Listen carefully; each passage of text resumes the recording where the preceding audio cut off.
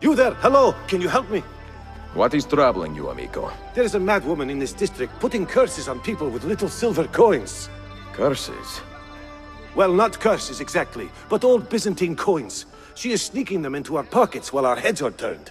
And I do not find it funny. Keep your leggings on. I will have a look.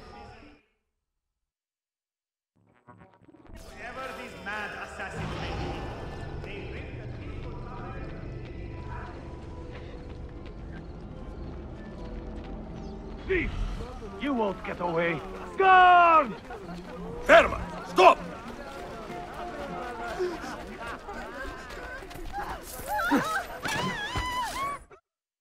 Quite a trick you have there.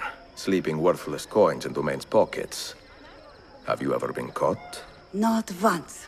Although I have on occasion taken money as well.